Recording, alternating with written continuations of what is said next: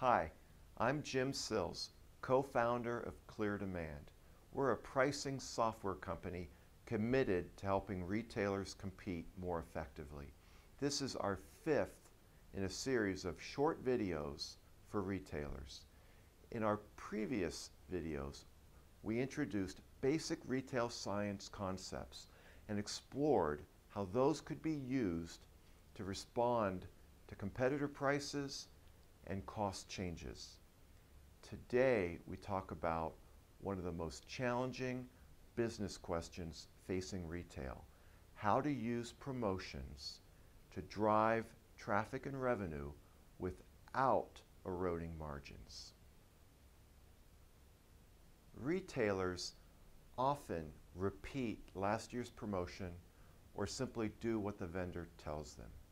Let's look at how retail science can be used to think differently about promotions. In a previous video, we described how regular unit sales increase as price decreases.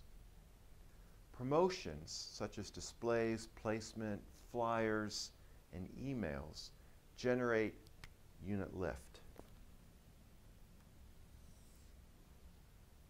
When an item is promoted at a lower price, its forecast is shown here.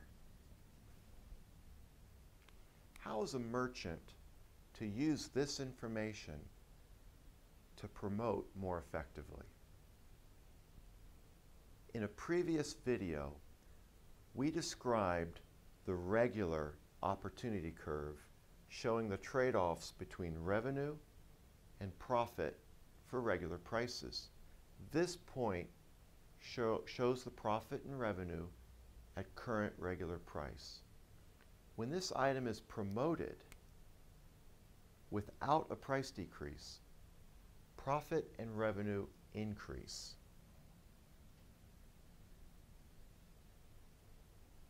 When the promotion includes a price decrease, the resulting promotional opportunity curve looks like this.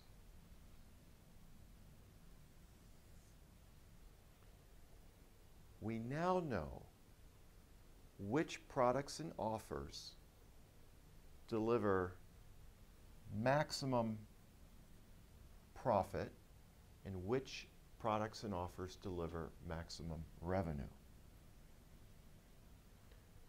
Let's look at how a merchant can use this information to plan promotional events that drive revenue without eroding profit.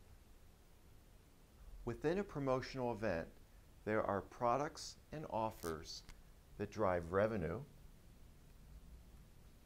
and others that drive profit. It's the revenue drivers that can erode profit. If we look at the opportunity curve for the revenue drivers, it looks something like this, where current regular profit and revenue is shown here, and the profit and revenue for the promotion is shown here. The difference between them is the lost profit. How is a merchant to recover this lost profit? One approach is to reduce the price of the revenue drivers. Another is to look at the profit drivers.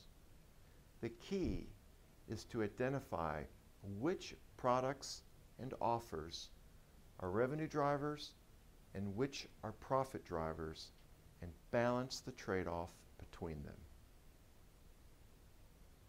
Thank you for joining us. Please continue to follow us as we explore innovations that help you compete more effectively. Send questions to my email address below. Follow us on LinkedIn and Twitter. Visit our website where you can register for webinars, white papers, and news alerts.